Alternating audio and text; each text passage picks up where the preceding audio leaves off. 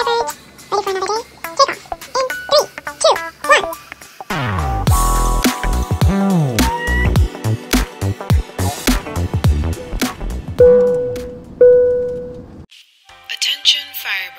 This is your Captain Yoon speaking. Carnelian and I would like to thank you for joining us on today's flight. The complimentary entertainment is Otaku Time, which can be found on the screens in front of you. In a world full of different hobbies and interests, Otaku Time lets me share some of mine with you, and I hope you'll share some of yours with me in the comments below. Hello everyone, welcome back or welcome to the HeyEunziverse. I've got a story time for you today about this art piece, so let's dive in. DougDoug, who has a large channel here on YouTube, is not someone I personally follow because he's a gaming channel and I'm not a gamer. But someone close to me is a big fan and let me know he was taking fan art of Rosa the Otter for her 24th birthday stream this year. Rosa is the oldest sea otter living in captivity and she currently resides at Monterey Bay Aquarium. This was the fourth annual stream he was running to fundraise for her and the aquarium, so I said I was down to draw something for them to submit on my behalf since I don't have a Twitch account. This was on August 6th. At the time, I felt like I would finish way before the August 24th deadline, so I gave priority to some of my other projects. I put down my idea for Rosa's fan art right away, but didn't get to finalizing anything until the week of the deadline. That was a mistake that ultimately led to my downfall. While making this video, I went to see how early Doug started taking submissions on his self-check submission page, and the earliest date I found was July 31st. So I was already a week behind the start of submissions because that's when I learned about everything, but I also let two weeks slip by after that before getting started. Not my best example of time management.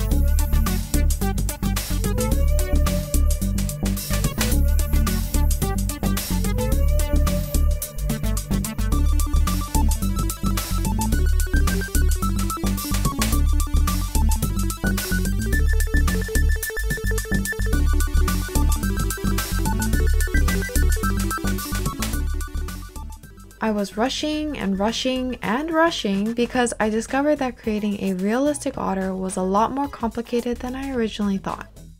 I wanted to make sure that it would look like Rosa specifically and not just any generic sea otter, but I had clearly underestimated the complexity of otter paw pads, otter fur, etc. So I had my work cut out for me in a very limited time frame that I cornered myself into. As you can imagine, I did not finish my piece. Instead, I got it to a point where I felt it was complete enough to submit, but regretfully wasn't the final vision I had in mind. So on the day of the deadline, I sent it to my informant at 10:56 p.m. PST so that we could at least participate in the stream. The deadline was 11:59 p.m. PST, but I was exhausted and I already knew I wouldn't finish it in the next hour anyway, so I decided to just take the L and finish it over the next few days.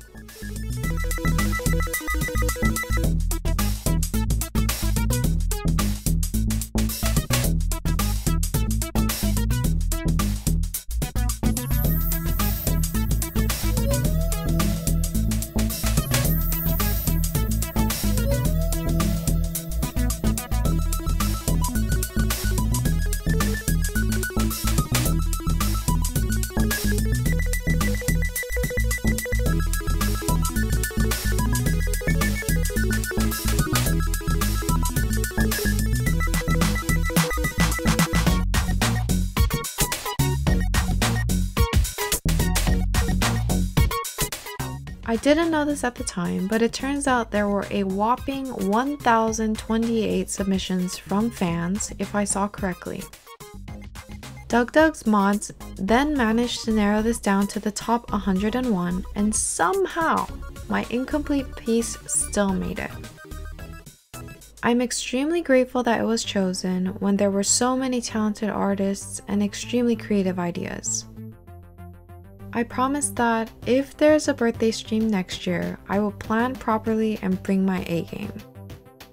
I feel like it's not only a shame for myself to not have been able to submit my final form of this piece, but it's also kind of a slap in the face to the other people who submitted their 110%. My mom and I watched the stream for 5 hours to see the top 101 and it was a surreal moment to see my artwork pop up on DougDoug's stream on our TV. My informant also texted me that it made them jump to see my art. All these amazing streams, truly the greatest content. Thank you. Off duty mom. Rosa relaxing at home watching Twitch chat celebrating her birthday she's watching on like a shell laptop, which is awesome. Oh wow, and then you actually have the Twitch layout in here. This is super meta. Courage for me. Oh, this is really good. Oh, it's a shell phone. Yeah. Man, this is really cool a jigsaw.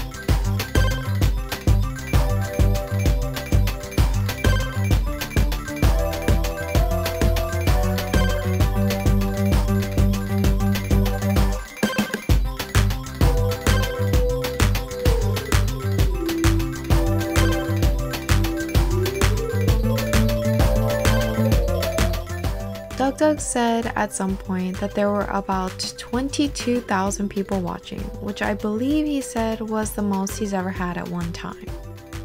So it's crazy to think that there were that many people viewing my art at that moment.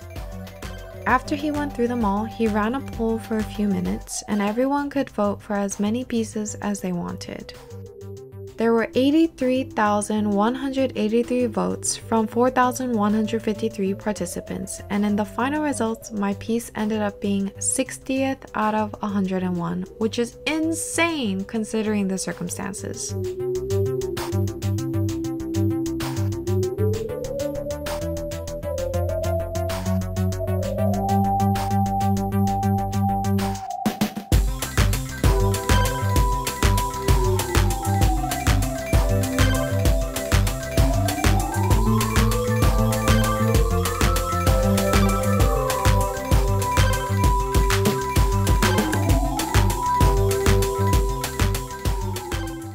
Course, I finished the piece eventually, which I've titled Off Duty Mom, and I'm happy with the result. Again, it's unfortunate that I couldn't submit this because I feel it has much better impact overall now that it's finished, and obviously captures my original vision. But better luck and better planning next time. I don't know if anyone from the DougDoug community or DougDoug himself will ever see this video, but I just want to say that you're all amazing. Every year for the past four years, the DougDoug community has contributed so much to help Monterey Bay Aquarium spoil their animals and make a difference in protecting our marine wildlife. And this year, they managed to raise $302,292.69. That's an incredible feat, and I was honored to participate even a little bit in that. All the links to the art gallery, the stream, and to Monterey Bay Aquarium will be in the description box below. Let me know what you think of Off Duty Mom and let me know if you follow DougDoug or were a part of the stream. Thank you so much for tuning in to today's video and I'll catch you in the next one.